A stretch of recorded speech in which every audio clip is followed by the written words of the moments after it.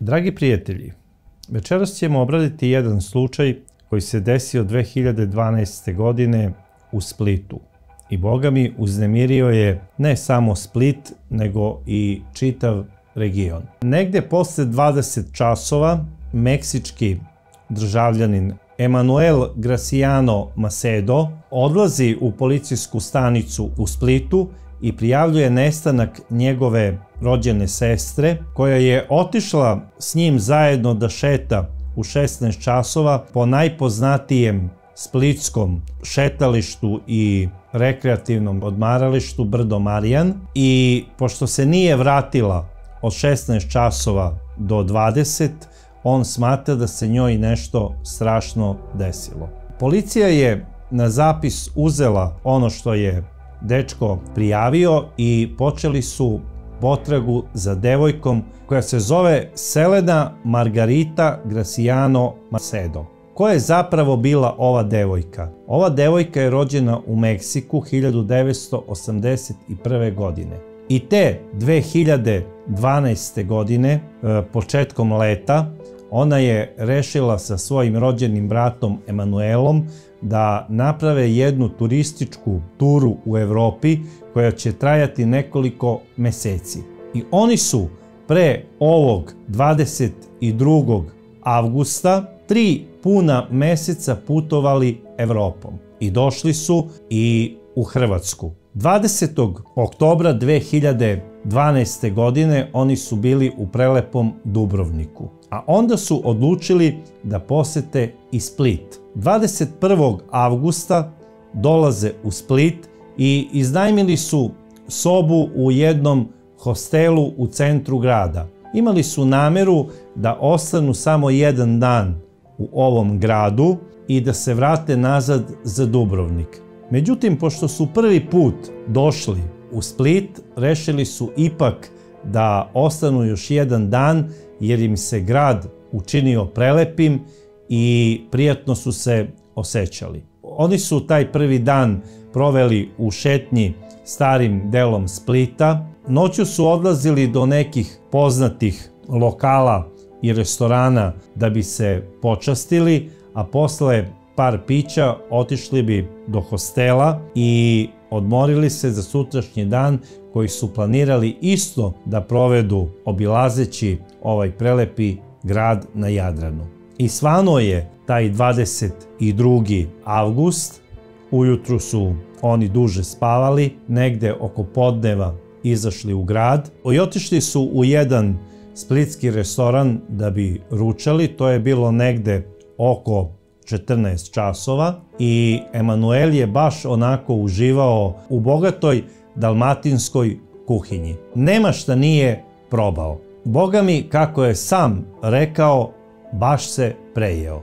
Međutim, Selena posle ručka, koji se završio negde oko 15 časova, rekla je Emanuelu da nastave sa planom obilaska Splita i okoline i po tom planu kako su rasporedili za taj 22. avgust, oni su planirali da u periodu posle ručka pa negde do 18 časova provedu u šetnji po poznatom, znači šetalištu iznad Splita po brdu Marijan, koje je još početkom 14. veka bilo poznato kao šetalište u ovom predivnom i prestarom gradu i od tada je stavljeno pod zaštitu države. Znači, od 1312. godine stoji uredba u većnici grada Splita da je zabranjena seča šume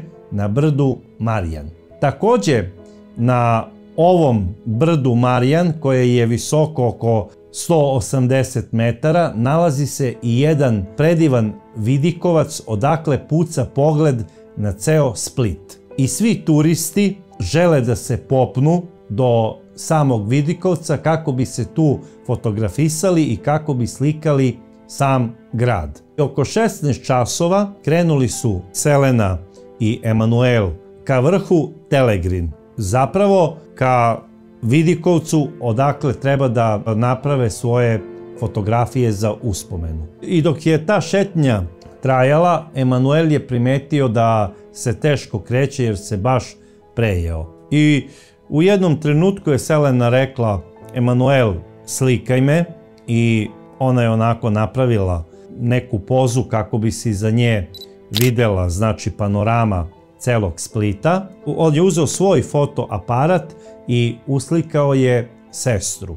Posle toga su počeli opet da šetaju i išli su kako znači vodi šetalište, stigli su do poznate crkvice Svetog Nikole koja se nalazi na ovom brdu i tu je Emanuel rekao svojoj sestri Selena, meni je baš muka da šetam po ovoj vrućini i baš sam se prejao, ja bi se vratio do onog odmorišta gde sam te slikao i tamo ću te sačekati u jednom kafiću. A ti ako želiš, idi do samog vrha i napravi koju fotografiju. Selena je to prihvatila i krenula je dalje sama, a Emanuel se vratio do onog prvog Vidikovca gde je fotografisao sestru i tu je u jednom kafiću seo da je sačeka. I rekao je, nemoj duže od sat vremena, najviše dva, da budeš u šetnji.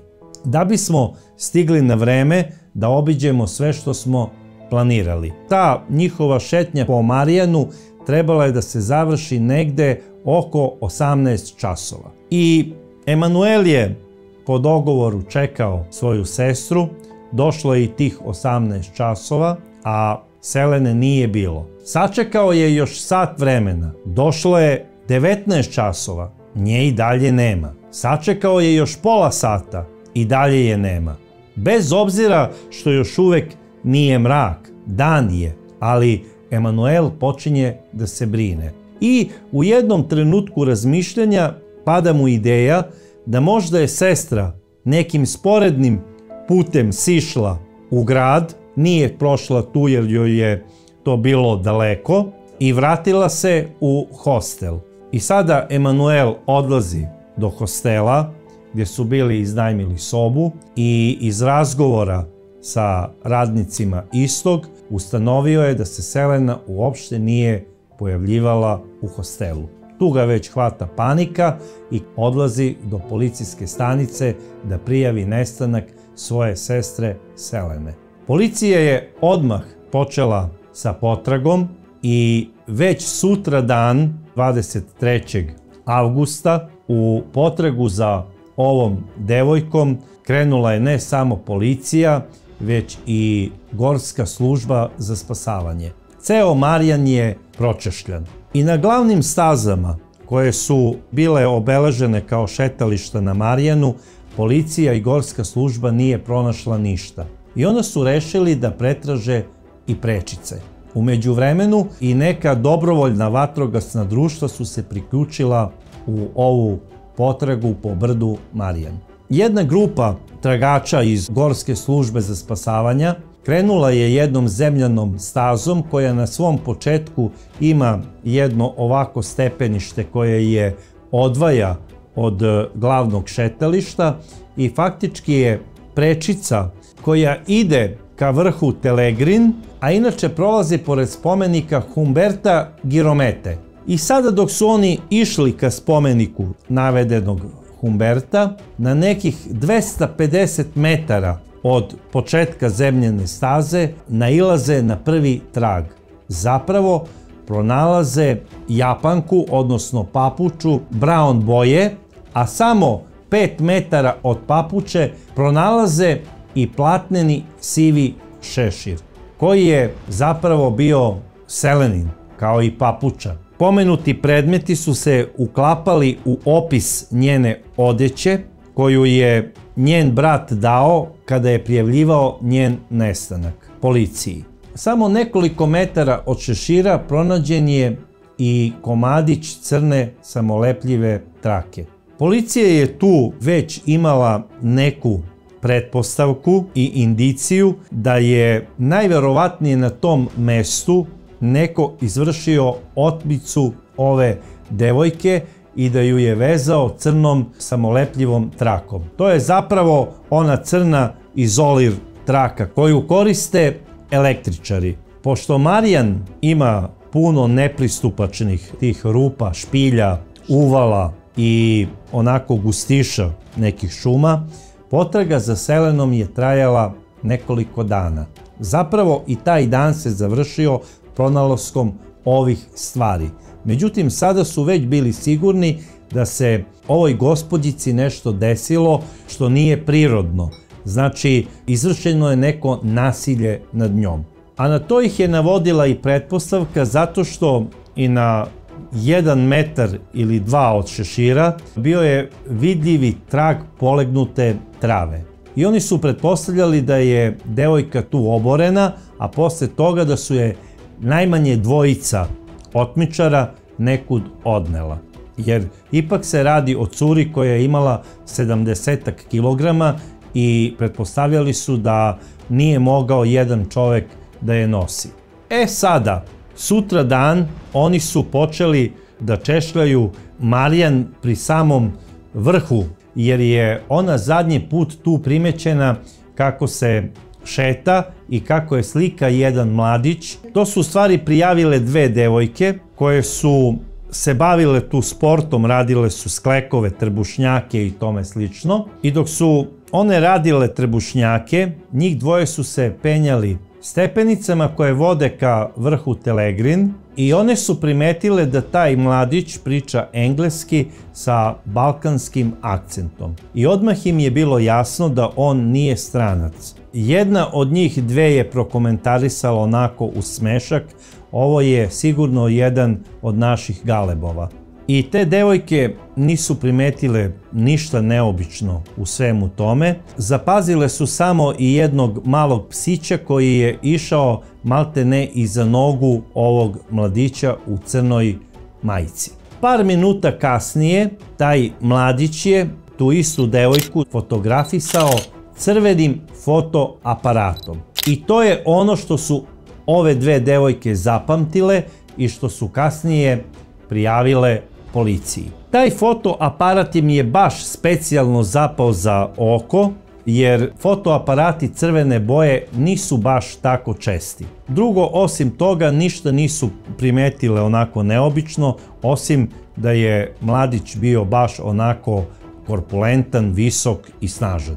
Ali takve scene se na Marijanu i u Splitu dešavaju svaki dan, tako da njima to ništa nije bilo neobično. Međutim, kasnije kako će se ispostaviti, ne samo da je bilo neobično, nego, boga mi, jako i jako strašno.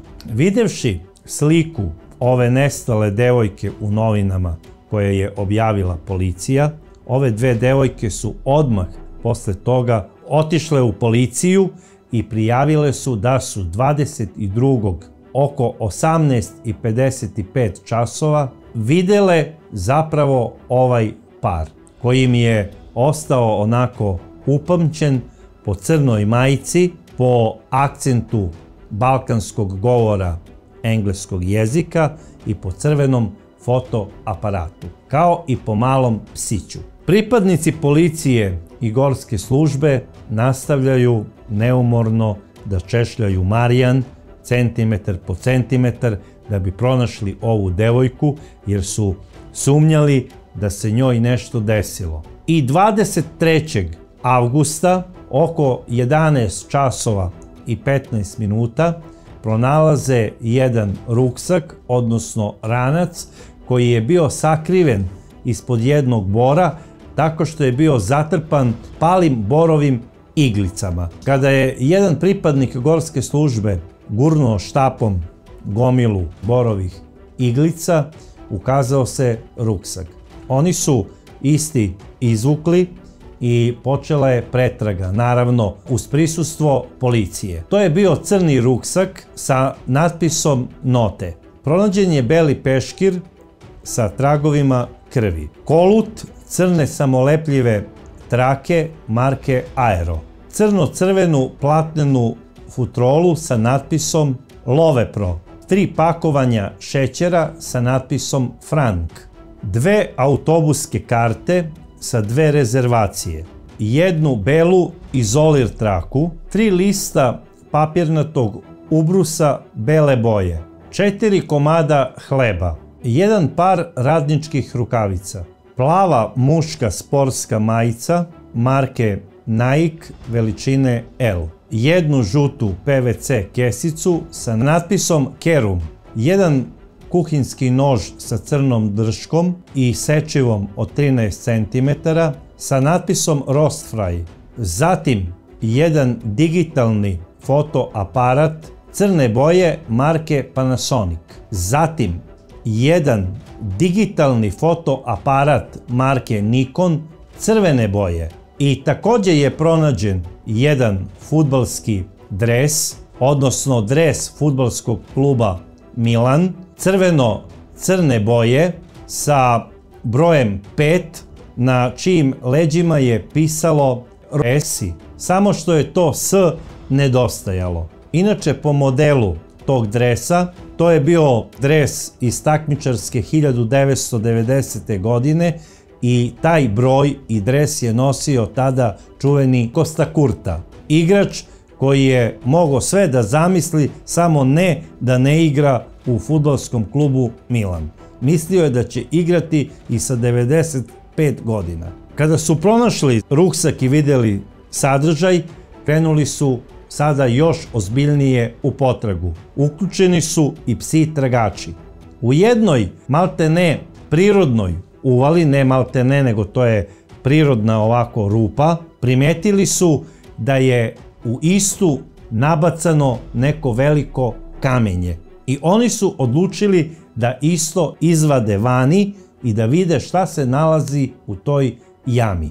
Bili su prosto u problemu jer to kamenje je bilo teško i po 40 kg, ali ih je miris koji je e, njima bio jako dobro poznat, ubedio da budu uporni i da ispitaju sadržaj te jame. Kada su izbacili kamenje vani i gomilu grana, ukazala se ženska haljina. Kada su krenuli da čiste gomilu borovih iglica, koja je takođe bila nabacana u tu jamu, naišli su na telo devojke. Ova devojka je ležala mrtva, tako što je glava malte ne bila odvojena od tela jer je bila zaklana i to sa dva reza, sa leve i sa desne strane. Haljina je bila do pola podignuta i nije imala gaćice. To je ukazivalo u samom početku da je ova devojka najverovatnije prvo silovana, a onda ubijena. Njeno telo je odmah preneto na sudsku medicinu i obdukcijom je ustanovljeno da je ova devojka najverovatnije prvo zadavljena i da je bila u nesvesnom stanju kada je zaklana. A daljim pregledom tela, ginekološkim pregledom, ustanovljeno je da ona nije bila silovana. Za Emanuela Graciana Maseda ovo su bile užasne vesti. I Emanuel je bio očajan. Krivio je samog sebe. Rekao je, ajde to što sam se prejao, to je svima nama Meksikancima u krvi da jedemo do beskonačnosti. Ali nam nije u opisu običaja i ponašanja da pustimo bilo koju ženu koju znamo da šeta sama. A ja sam doveo rođenu sestru u stranu zemlju i pustio sam je da šeta šumom sama. Bio je očajan i besan na sebe. Plakao je kao malo dete, naravno sa razlogom. I pošto procedura slanja tela iz strane zemlje u drugu stranu zemlju je jako komplikovana, majka je rekla moraš biti sve vreme tu dok se obavi ta kompletna akcija vraćanja tela za Meksiko. Da bismo Selenu sahranili kako treba i kako dolikuje ljudskom biću. Naravno, za ovu pomoć i ubrzanje iste te procedure Emanuel se obratio kome drugo nego Meksičkoj ambasadi. I boga mi, došao je lično konzul Meksika da bude prisutan u Splitu dok se sva ta procedura završava i da ispita kod policije kako ide sada akcija oko potrage za ubicom.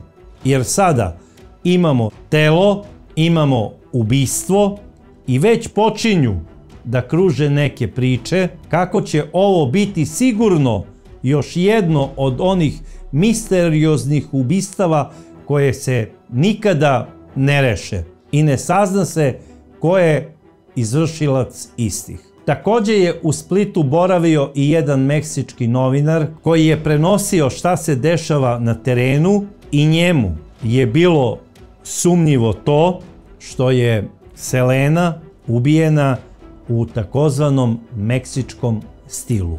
Takođe je rekao da veza između ovog ubistva i eventualne meksičke mafije može da bude samo ta ako je ova devojka bila u nekoj kombinaciji trgovine narkoticima, ali on prosto tu mogućnost ne može ni na koji način da dovede u vezu sa ovom devojkom. Po njegovim rečima, ova devojka je imala normalan život, bila je uzorna, volela je prirodu, bila je pobožna, volela je šetnju parkovima i volela je ljude.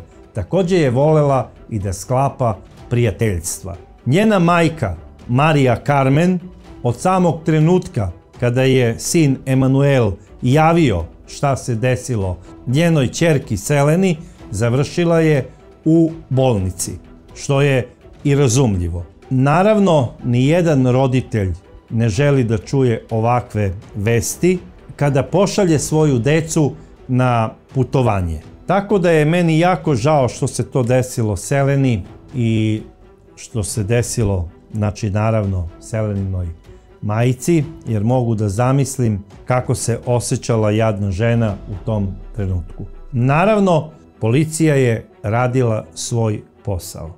Dres futbalskog kluba Milan ustanovili su da je pripadao ubici. Izdvojili su DNK iz istog dresa, takođe su sa noža uzeli DNK, naravno Selenin i nepoznatog mladića, koji se poklapa sa onim iz dresa. Zatim ustanovili su da je onu plavu mušku majicu zapravo nosila Selena tog dana. Na onoj crnoj, znači samolepljivoj traci, pronašli su otiske prstiju nepoznatog mladića i imali su sada neke stvari odakle mogu da krenu sa potragom za ubicom. Operativci na terenu krenuli su od kafea do kafea po samom Splitu da bi saznali ko se tih dana viđao u dresu futbalskog kluba Milan i ko se malte ne ponašao kao Kosta Kurta u splitskim kafićima. Zapravo, ko je bio onako toliko uporan u osvajanju nekih devojaka i ispunjenju nekih svojih ideja i bio eventualno zapažen od ostalih ljudi koji su se nalazili na recimo tom mestu. I jedna devojka je rekla da je tih nekoliko dana pre ubistva primetila jednog mlađeg čoveka koji zapravo ima između 40 i 45 godina i da je iz Srbije, ali da ne priča onim beogradskim akcentom govora, nego nekako drugačije. Podseća malo onako na polu slavonski akcenat govora i kaže možda je to neki naš koji je otišao da živi recimo u Beogradu. Naravno, policajci su krenuli da obilaze hotele gdje su pretpostavljali da je ovaj čovek bio oceo i utvrdili su da se radi o čoveku koji ima 45 godina i koji je zapravo iz Novog Sada. I imali su i njegovo ime i prezime i matični broj i broj pasoša.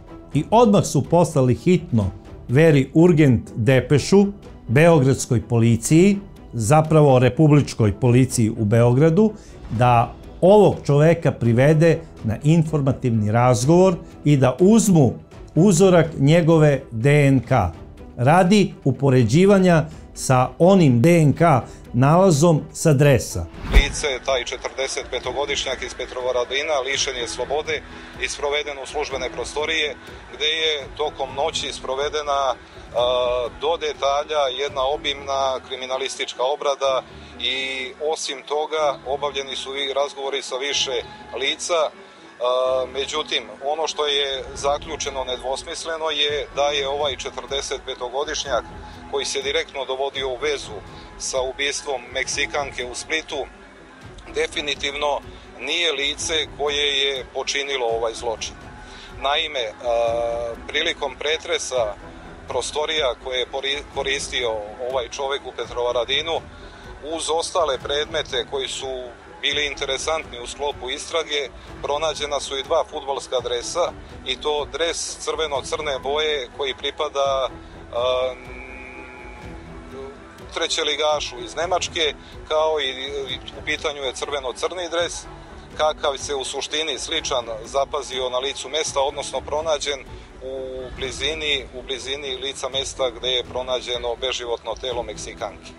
DNK analiza nedvosmisleno je ukazala da dotični gospodin nije izvršilac navedenog krivičnog dela. A jeste imao dres futbolskog kluba Milan, ali je nosio broj 10, a ne broj 5.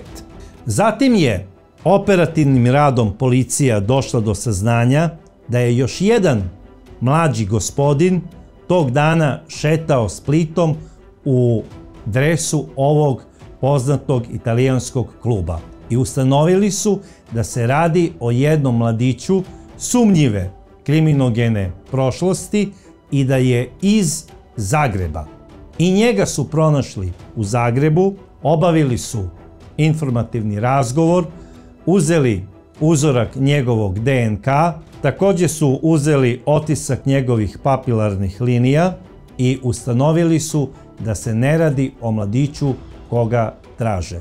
Policija je išla dalje i sve se vrtelo oko tog famoznog dresa koji je te daleke 99. godine nosio Kosta Kurta. Zašto je on toliko bitan? Zato što je bio simbol nečije upornosti. Iako je Kosta Kurta nekome idol, znači treba obratiti pažnju da traže čoveka koji je u nekim svojim idejama jako, jako uporan. I počeli su sada da traže takve ljude. Obavili su razgovor sa oko 280 mladića iz Splita. 80 su bili osumnjičeni, ušli su u uži krug, uzet je njihov DNK, otisak prstiju. Međutim, nikako se ne uklapa u onu priču. I na kraju šta su uradili? Slikali su dres i objavili su u svim novinama da se traži momak koji je tih dana u Splitu šetao u ovom dresu. I dva meseca posle ubistva u dežurnoj službi splitske policije zazvonio je telefon.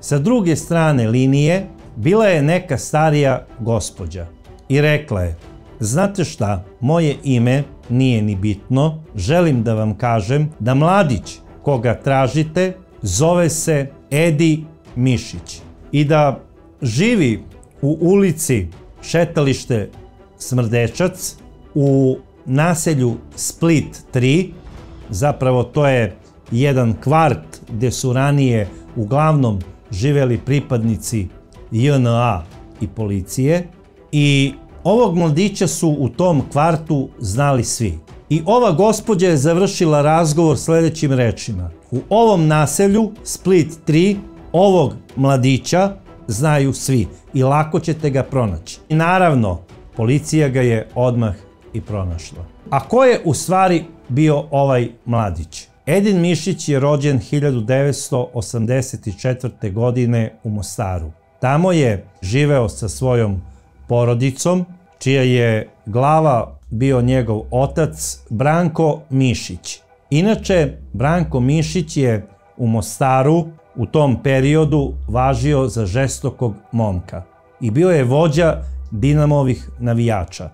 Obožavao je Dinamo i obožavao je Hrvatsku. I posebno je obožavao futbalera Dinama Edija Krnčevića. Svi se sećamo kako je to bio legendarni i dobar futbaler. I bio je poznat po tučama na raznim utakmicama, čak i one čuvene Maksimirske između Dinama i Zvezde, 91. godine. No, bilo kako bilo, te 91. godine počeo je i prokleti rat.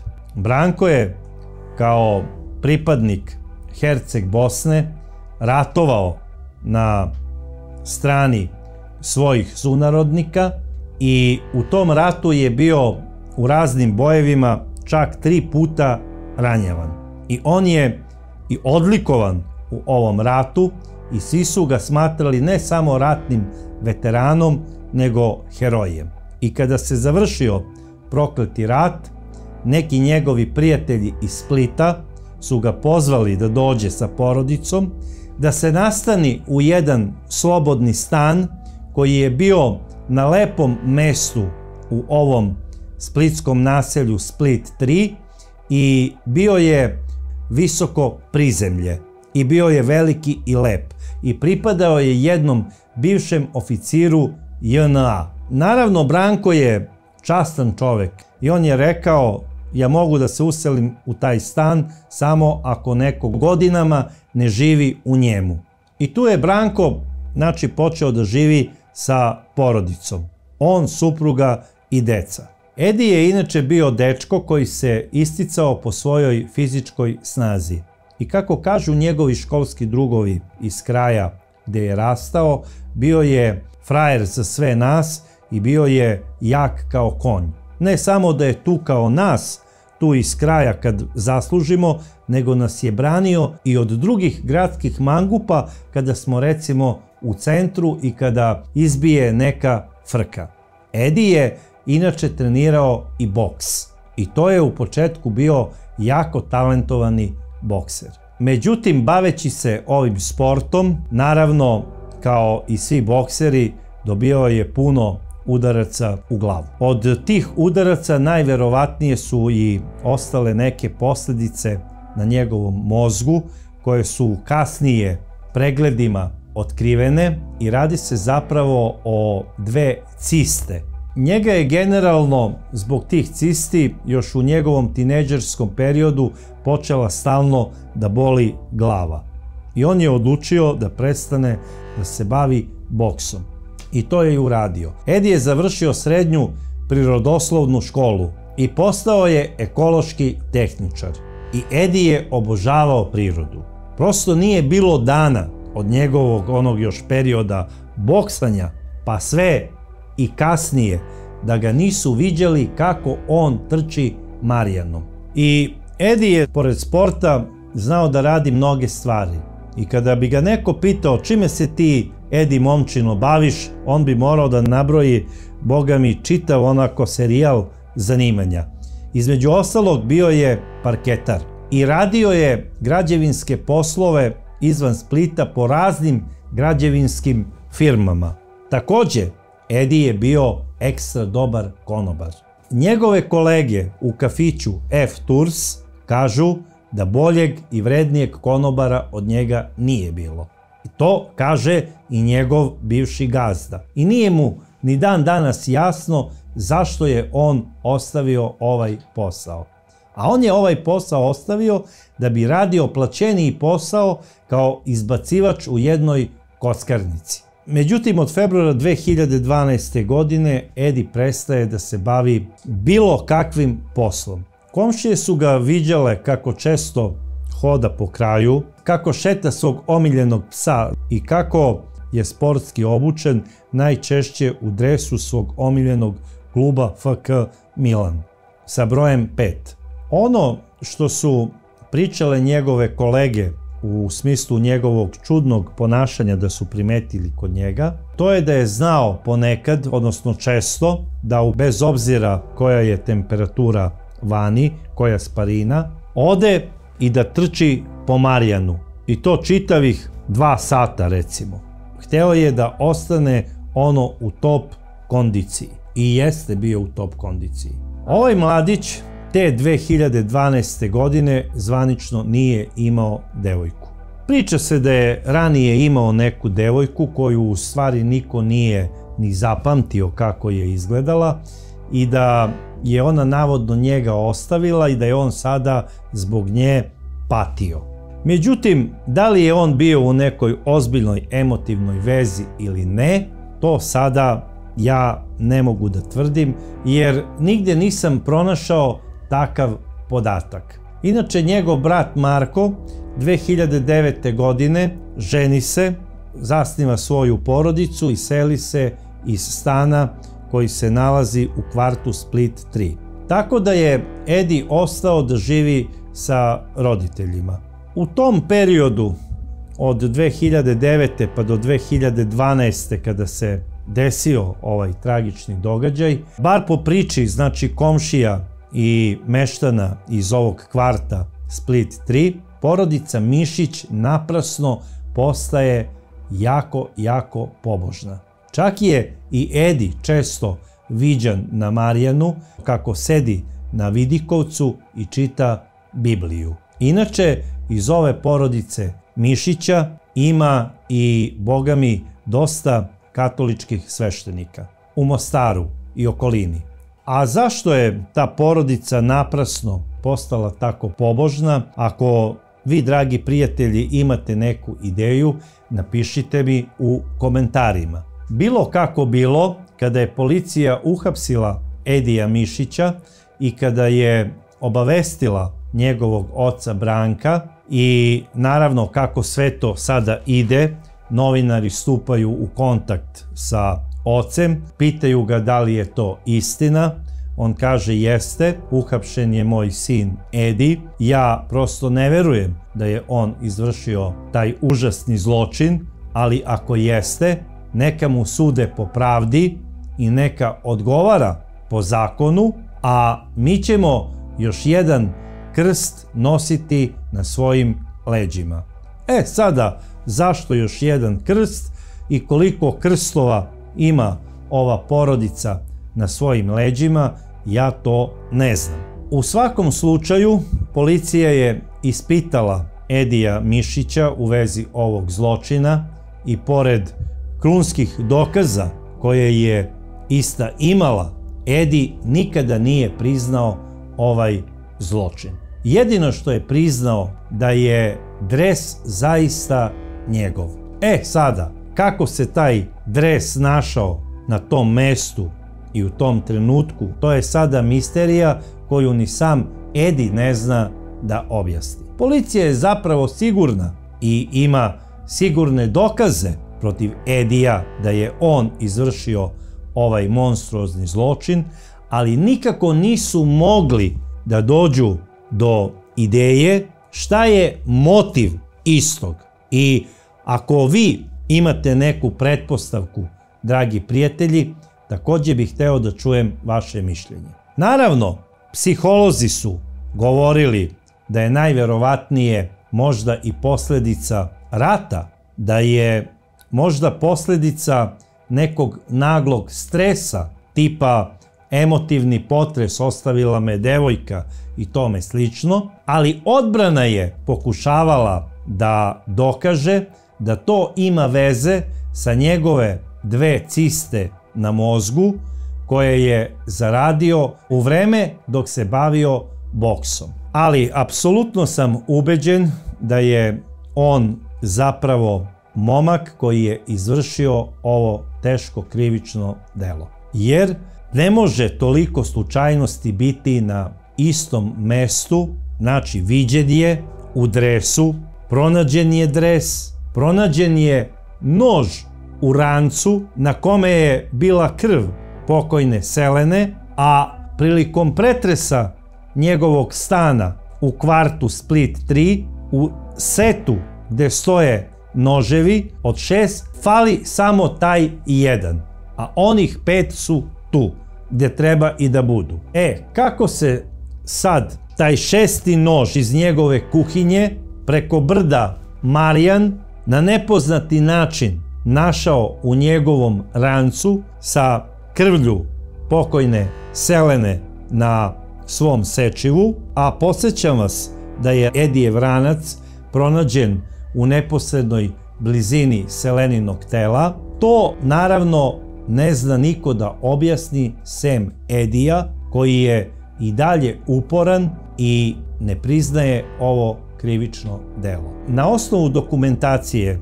koju je sa nama podelila jedna naša prijateljica, Magdalena Krvavac iz Dalmacije. Magdalena, ovom prilikom vas pozdravljam. Hvala vam na saradnji.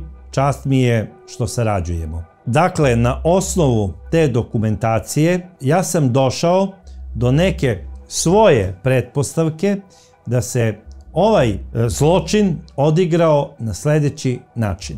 Edi Mišić je izgleda već duže vremena imao nameru da ubije neku devojku. Da li je on to uradio u ime religije ili kako neki stručnjaci tvrde iz nekih seksualnih razloga, ja to sada ne znam. Ali mislim da je on toga dana sa sobom poneo nož u svom rancu sa namerom da neku devojku usmrti. S njim je toga dana bio i njegov pas i on je svedok ovog događaja.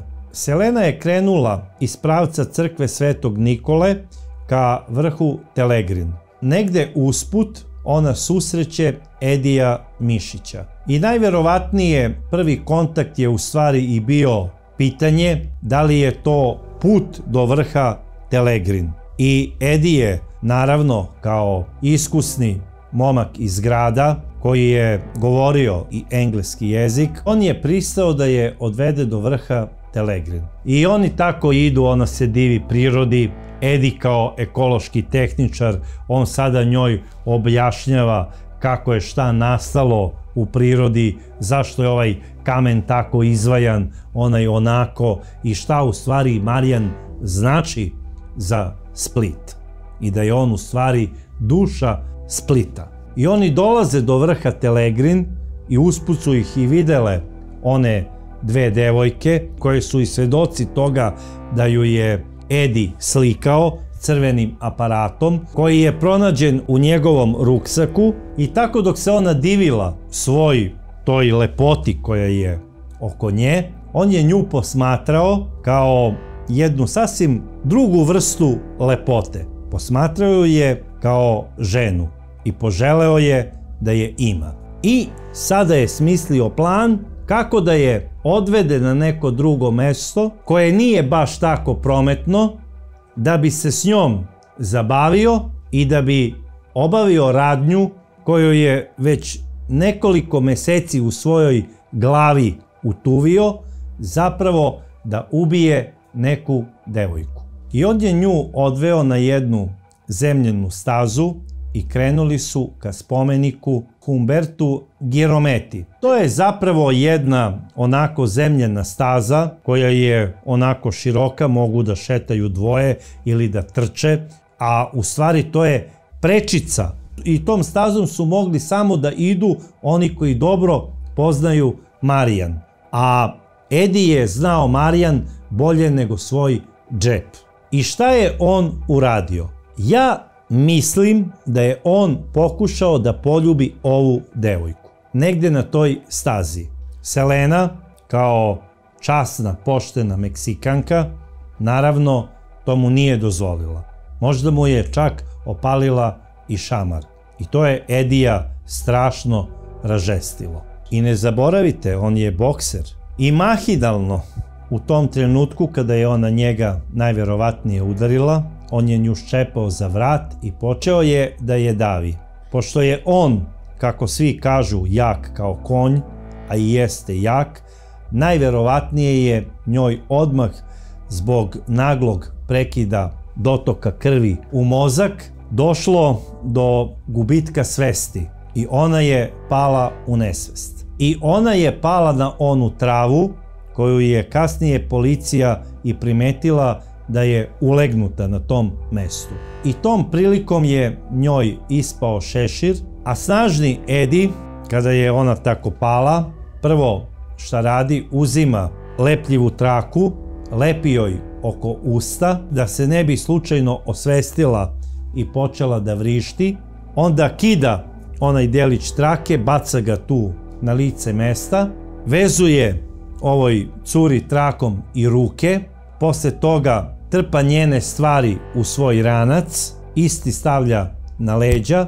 devojku uzima i baca preko ramena. U tom trenutku njoj ispada jedna japanka.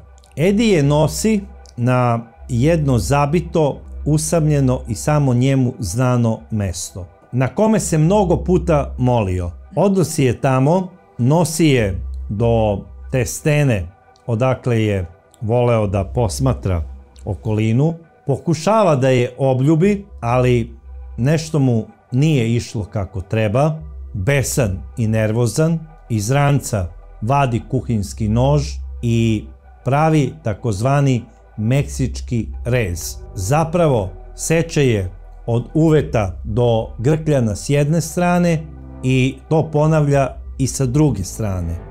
I malte ne faktički nesrećnoj curi je odrubio glavu. Prosto ne mogu da objasnim ovaj monstruozni čin u kome je naravno odmah došlo do smrti jer krv šiklja na sve strane, presečene su znači glavne arterije, krv ide na njegov dres omiljeni koji kasnije on skida zajedno sa njenom majicom koju takođe stavlja u svoj ranac zajedno sa nožem koji nosi i krije pored jednog velikog drveta. I verujem da je pre nego što je sve te stvari stavio u taj ranac, izvukao i jednu čistu majicu i obukao je. Da nije bilo tako, svi bi primetili mladića koji šeta po Marijanu go bez majice i ulazi u grad bez majice. Takođe treba otići i do svog kvarta, koji nije baš tako blizu Marijana. I naravno kada bi ušao u kuću i majka i otac bi ga pitali gde ti je majca, gde ti je ranac, šta se dešava. Jer oni znaju dobro kako je njihov sin bio obučen toga dana kada je izašao iz kuće. I sada ne znam kako majka kao iskusna domaćica nije primetila nedostatak jednog kuhinskog noža, ali kada imate previše noževa, dešava se da i ne primetite. Bilo kako bilo, kao i svih prethodnih dana, Edi je i sutra dan otišao da trči po Marijanu. I uopšte u njegovim mislima nije ni dolazila ona stvar koju je uradio prethodnog dana i nije se ni zapitao malte ne A koga traži sada ova policija i gorska služba? Bar tako on tvrdi. Međutim, nedostatak tog futbolskog dresa i te futbalske majice niko u Edijevoj porodici nije primetio. Ni otac, ni majka nisu primetili.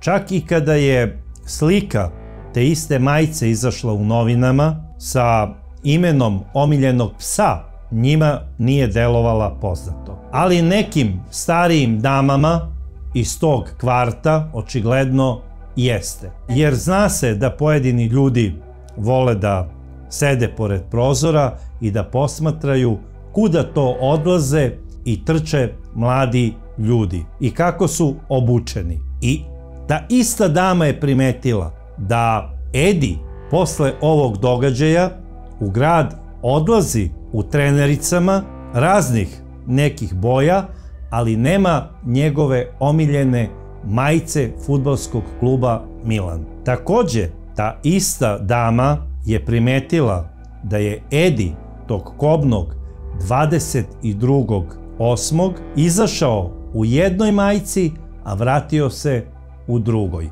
Što je ona protumačila, sigurno je puno trčao pa je zamenio da se ne osjeća miris znoja. Ali gde mu je onda onaj ranac? I hvala ovoj gospođi. Ona je zapravo primer kako treba da se ponaša svaki savesni građanin u Evropi.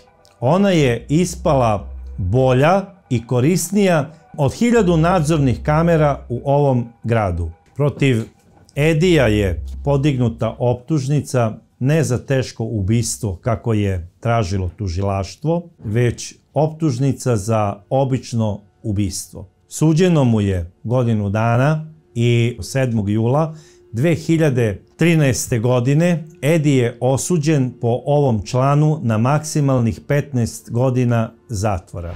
U ime Republike Hrvatske presuda. Optuženik Edi Mišić kriv je što je 22. kolovoza 2012. u popodnevnim satima u park šumi Marijan u Splitu na predijelu Telegrim na južnoj padini došao do pješačke zemljane staze pošumljenog dijela u blizini spomenika Umbertu Girometi, gdje je zaskočio Selenu Margaritu Graciano Macedo, koja je kao turist, ne sluteći ništa, šetala i fotografirala.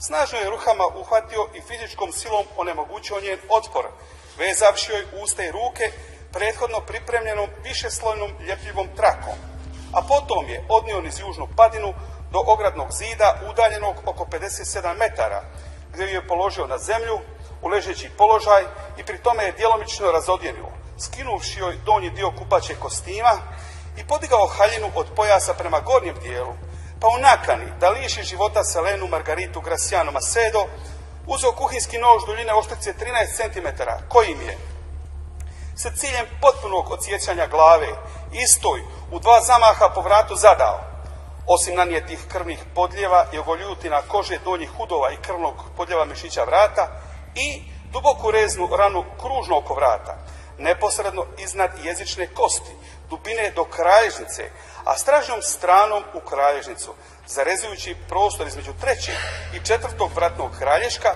s posljedičnim presjecanjem svih struktura vrata te razine nakon čega je ista iskrvarila i preminula, te radi prikrivanja i održanog prolaska mrtvog tijela ugurao tijelo u dubinu zida i isto prekrio zemljanim slojem sa suhim granjem i sasušenim borovim iglicama, te kamenjem, kako bi se isto uklopilo u prirodni ambijent i postalo neprimjetno a potom se udaljio niz južnu padinu Marijana, odloživši rusak s oznakom note u kojem se nalazio navedeni kuhinski nož, sportska majica nogometnog kluba Milan sa natpisom Reki broja 5, dvije samoljepljive trake, ručnik i sendviči, te dva fotografska aparata i fototorbica vlasništva oštećene. Potom rusak prekrio kamenom pločom kako bi bio teško uočljiv, a da bi prikrio tragove kaznog dijela jer su ovi predmeti bili uprljani krvi oštećene Selene Margarite Graciano Macedo, čije tijelo je pronađeno 25. kolo za 2012. oko 12 sati 10 minuta na opisanom mjestu.